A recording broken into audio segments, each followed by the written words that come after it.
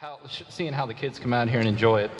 I thought long and hard about what type of message I wanted to give since it's going to be the last time, and I realized that this is going to be the last time that I see many of you.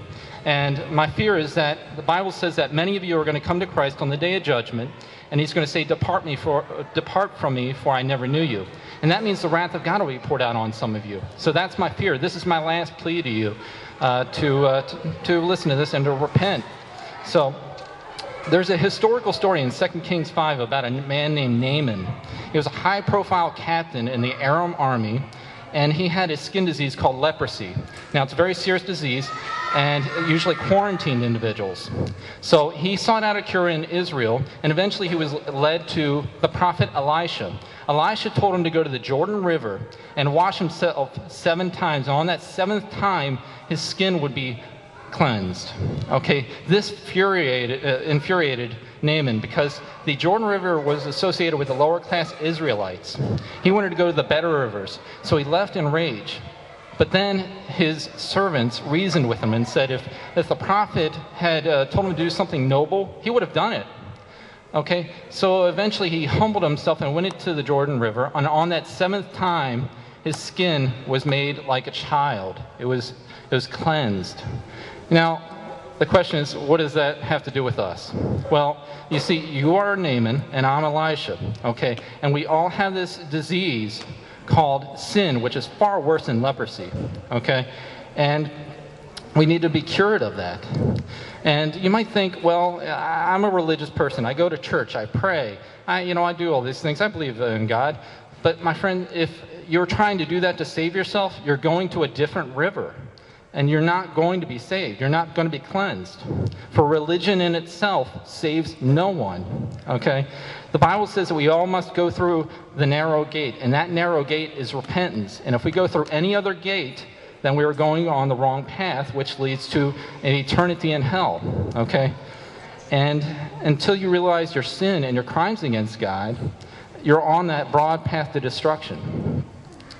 And see, my life was made up of many parts. I had the sports part, I had the work part, I had the family part, and oh, yeah, over here I had this little religion part. And I thought that if I had this religion part, and I, I would be just fine, you know, no big deal. But then, I, uh, well, also, I, uh, I even prayed to God. That's right. You know, I prayed to God. I went to confession as a child, even. Oh, yeah, I was confirmed as a Catholic. And oh, yeah, I was baptized twice in two different religions.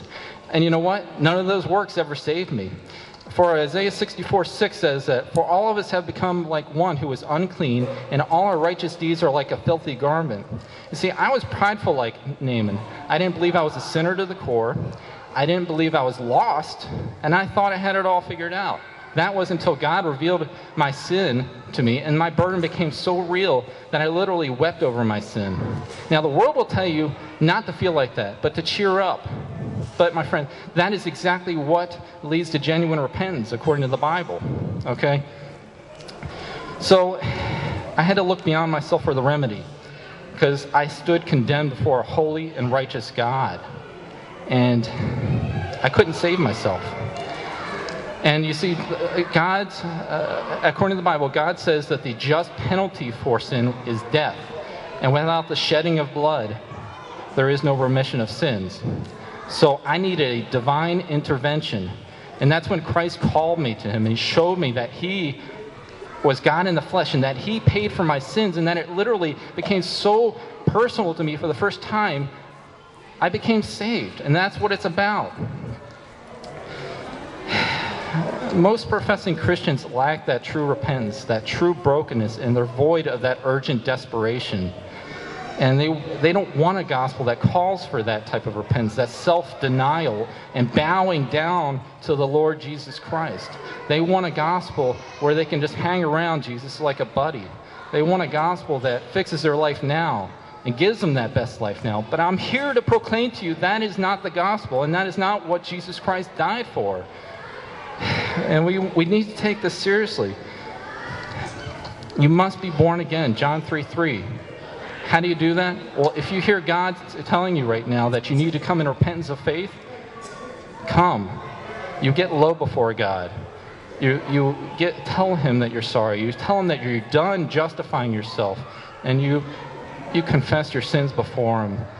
It's uh, it's the best analogy I got here. Well, I'm going to skip that one. 2 Corinthians 5:17 says, "Therefore, if anyone is in Christ, he is a new creation. The old has passed away; behold, the new has come." You see, Christ is that living river, that river of living water. Now, ask yourself this: If you're saved, ask yourself this question: Do I share Christ with anybody? If you had your, a friend of yours step in front of you and take a bullet for you, and he died, you would be proclaiming what that person did for you wherever you went.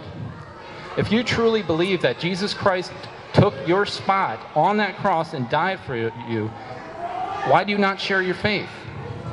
We all should be sharing our faith. If you truly believe that He took your spot on the cross, then you should be sharing your faith.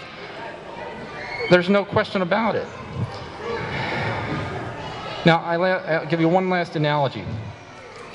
We all proclaim to have this impact with the creator of the universe, right? But we show no effect of it. Many of us don't show that effect. That's like me telling you that I was standing on the highway and a Mack truck just hit me head on. But you call me a liar, right? Because I'm standing right here. See, 1 John 1 6 says, If we say we have fellowship with him while we walk in darkness, we lie and do not practice the truth. If we are a Christian, we are a new creation. We are born from above and no longer walk away according to the ways of this world. And I'm going to leave you with this 1 Corinthians 6 9 through 10. Or do you not know that the unrighteous will not inherit the kingdom of God? Do not be deceived. Neither fornicators, nor idolaters, nor adulterers, nor effeminate, nor homosexuals, nor thieves, nor the covetous, nor drunkards, nor revelers, nor swindlers will inherit the kingdom of God.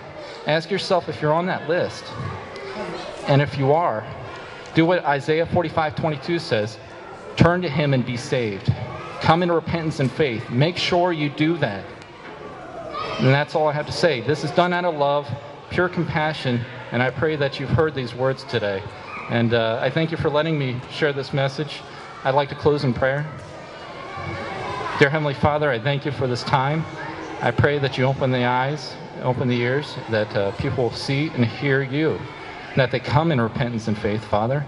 I pray that you enable us as parents not only to bring our children to these godly events, but also to share the gospel with them and to help guide them to you, Father. And that's what it's all about is living out the gospel. And I feel so privileged to be able to share that today. And I thank you for that in Jesus' name.